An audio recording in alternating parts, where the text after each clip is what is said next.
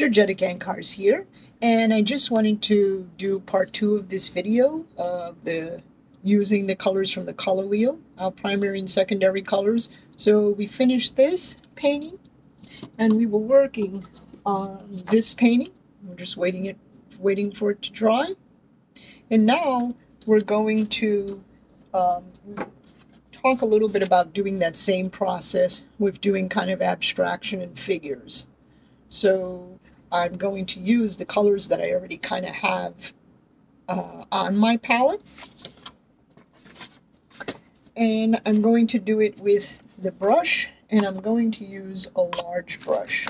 So I'm using a bristle brush, and it doesn't have to be, but I want a little bit of texture, and it's a number 12, and it's a flat brush. So what I'm going to do is I'm going to start the figure off first. And usually when I'm looking at the figure, I want to have a contrast again if I'm looking at the areas of the color wheel.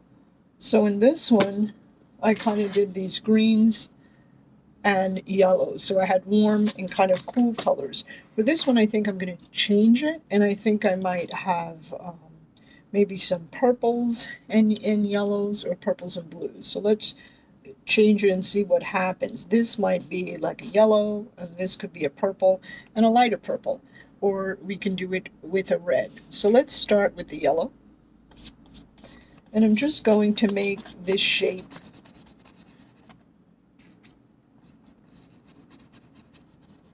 maybe it's like this okay and that's the top and the thing is when you're making the shape don't focus on it too much the thing is you know, you start thinking about, oh, where should I put the, the pants? Just put it down. And what I'm going to do is I think I'm going to put this as a purple. I'm going to have this figure moving, kind of walking. It's got these bellow pants. You might have the other leg, and it's just a little mark that's coming through here. Okay? And let's give it a little heel. Okay? Now, what I might do is I'm going to have to do this area darker. So I'll show you. I could choose a really dark purple for this area, right? But I really wouldn't have that much of a contrast with this color.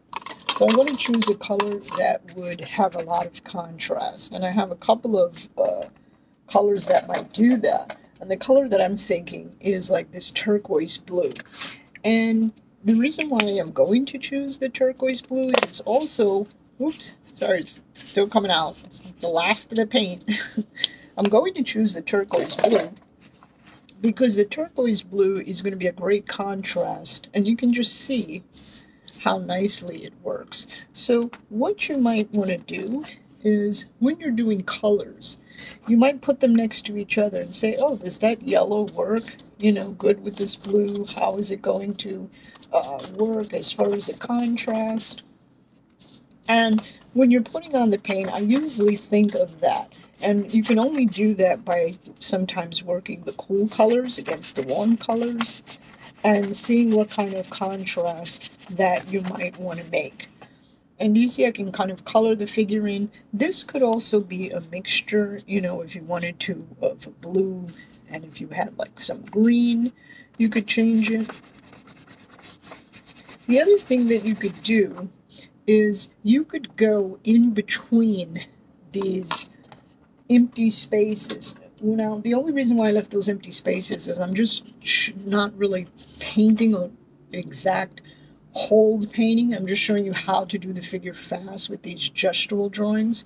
But what I might do is if I wanted a contrast, right, I could just drag a brush, and I'll show you, over these light areas, barely touching them. And do you see what happens? So we could pick up a little bit of the color of this figure. I might make his face a little bit bigger here. In contrast, or bring it in. But you can do that. And you can do it in opposite colors. So if you had where these empty spaces are, they don't have to be a yellow. You could think about just bringing highlights. You see how that red just like vibrates against that blue?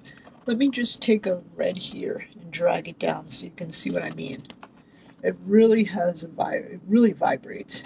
So try doing that. Try playing with colors. Maybe color a whole or half of your watercolor paper blue and just put colors on top and see what colors add that contrast. And then you can say, okay, that's what I want to use in my painting because now I see how that color just vibrates on top okay and then so try this try a bunch of and when you're doing the figure you know just put the figure down and the faster you do the figure you know because something might just happen as you're putting the figure down you just don't know what's going to happen um the slower that you start thinking about the figure is when you kind of, you know, get stuck and you're like, oh, I don't know if I should drag this leg down. So just practice doing these figure drawings.